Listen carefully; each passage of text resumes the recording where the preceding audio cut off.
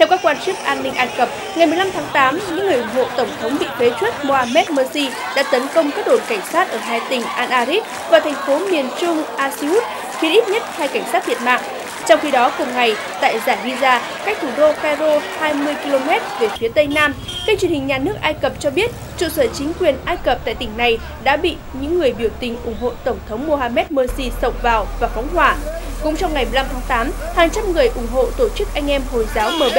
đã tiến hành tại thành phố lớn thứ hai của Ai Cập là Alexandria để phản đối việc sử dụng bạo lực giải tán các cuộc biểu tình ngồi của lực lượng này tại Cairo làm bùng phát bạo lực trên khắp cả nước.